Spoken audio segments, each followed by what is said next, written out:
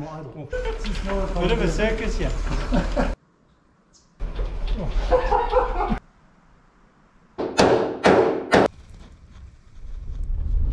Hi, welcome to my channel, The Overland Legend. I'm Alan. In this series, I'm rebuilding a 1955 Land Rover Series 1 and today is a very exciting day, I'm hoping. And today is a huge milestone for me. I'm and today is a really exciting, exciting day. It's something I've been looking forward to for ages, a huge milestone. After five years of rebuilding this Land Rover, today I'm hoping to drive it out of that garage where I pulled it into. Unfortunately not as a finished vehicle yet, but as a rolling chassis. If you see in the back, I've got uh, the tires, so I've got everything now, and I'm going to start it up and drive it out. And uh, so yeah, let's hope that that goes well. Let's see.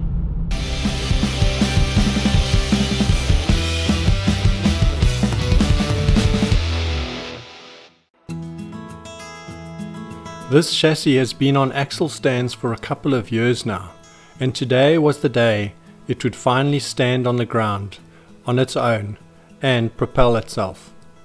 But there were still a few things that I had to get done to make this happen. All of them seemingly simple and easy, but still with some surprises. The first surprise was when I came to put the shocks on. I came to find two of the bolt holes blocked one with an old bolt and another with sand or dirt. I must have overlooked these. So with a bit of persuasion I had them cleaned out and then fitted the new Girling shocks, which looked great.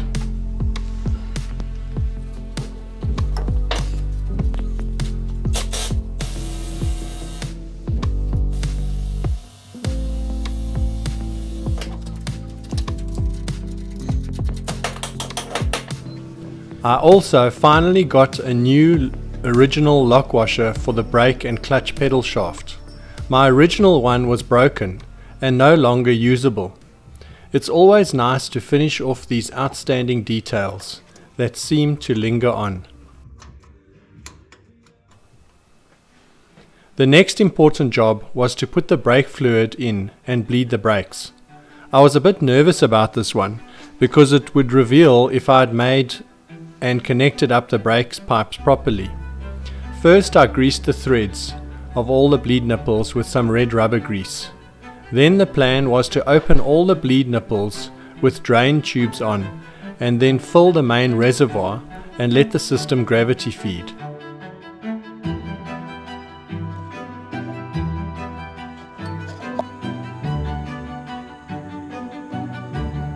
I did this and waited patiently.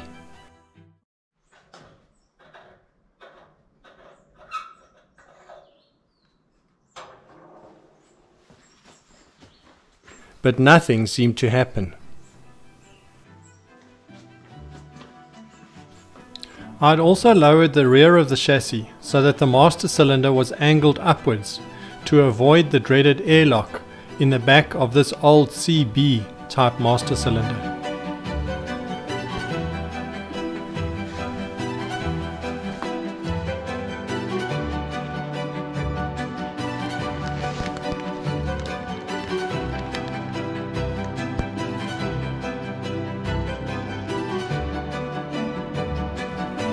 I eventually started to see brake fluid coming out, the rear right cylinder, which was a relief.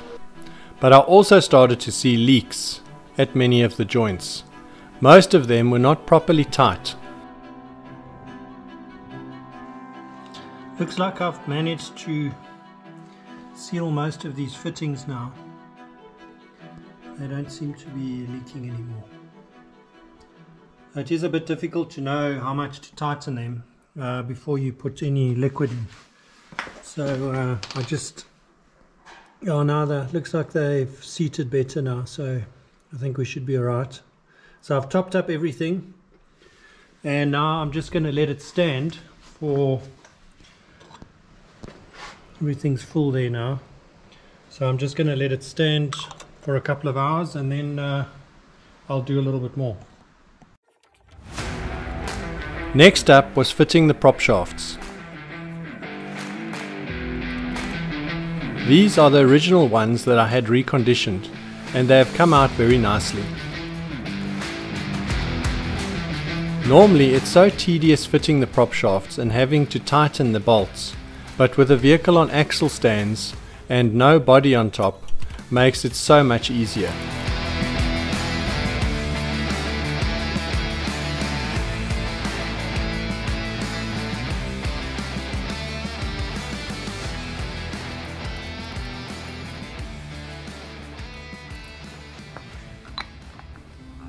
Then I popped on the hubcaps. Some of them were a bit too tight thanks to the excess zinc from the galvanizing, but after some cleaning they tapped on easily enough.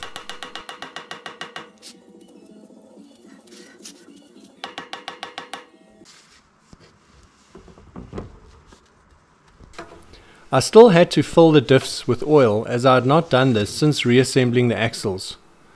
This was also easier to do than normal without the bumper on uh, the front and the body on the back. The front was no problem, but the back was another surprise.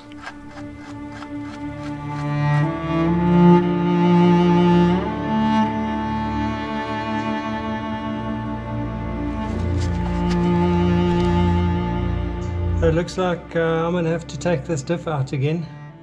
I just put the oil in and now uh, you know it's uh, a leak is not uncommon but uh, you know it shouldn't run out when you just put the oil in. So obviously this seal that I've got here is not working properly or I didn't do something right. I only find that out now. So anyway something else to do but I decided to leave that leak for another day and rather keep going to get this Landy rolling. And so I got to fitting the new wheels.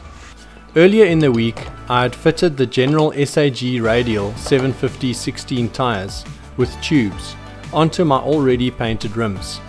Getting new rubber is one of the coolest things about owning a car and fitting the tyres is one of the coolest things about a restoration.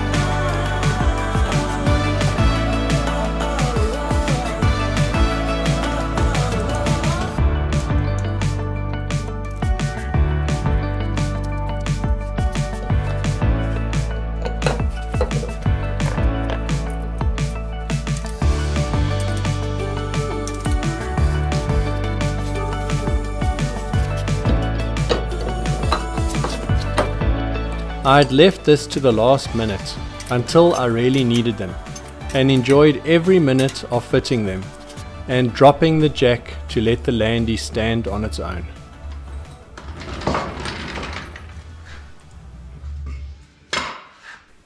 Finally everything was done and the moment had come to take this Landy on a drive.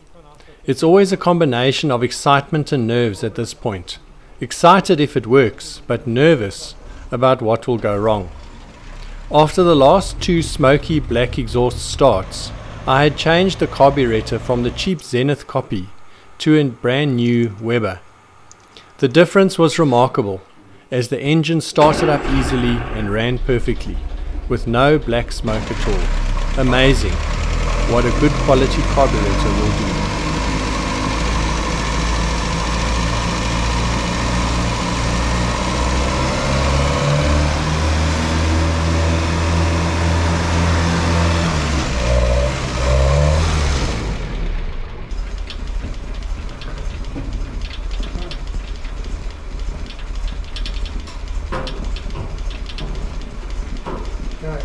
In the excitement of going for a drive, there were a few things we missed.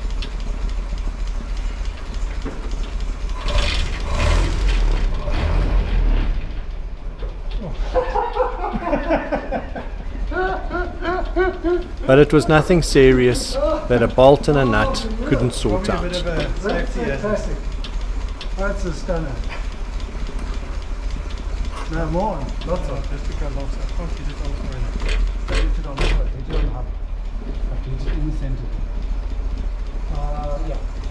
Then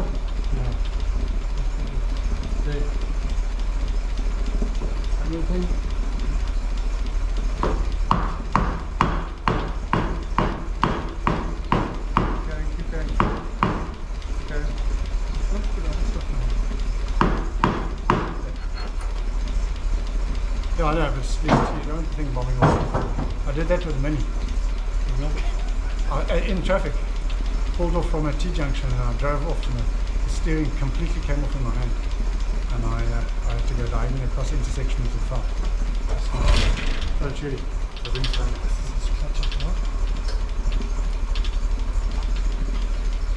Huh? That's it. And with that, we had movement. But still, some more loose bolts fell off. Oh, that old steering bracket's loose. No, I know. I was careful of losing nuts. What? Careful you're drifting. Bit of a circus, yeah. and then I was off.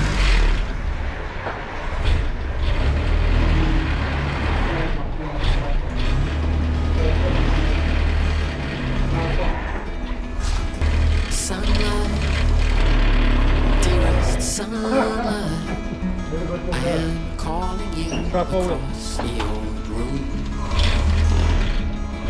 Sunlight, dearest sunlight, I would like to come out of the womb.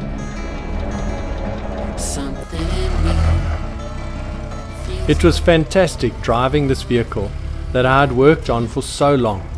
Everything seemed to work as it should and was a huge relief.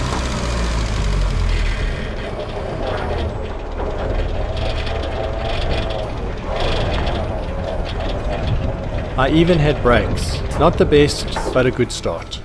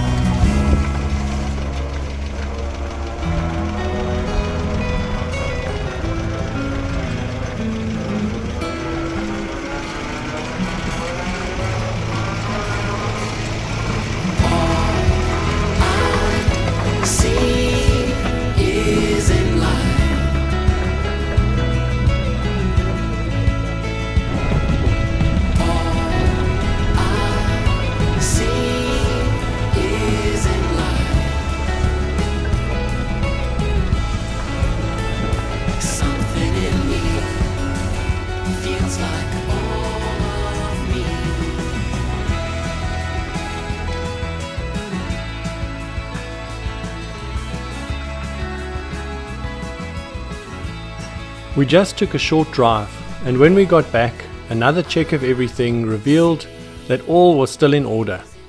There was just one noisy tappet, so I'll have to reset those to see if that will sort it out. Doing well. Top's warm, ice cold. Everyone's happy.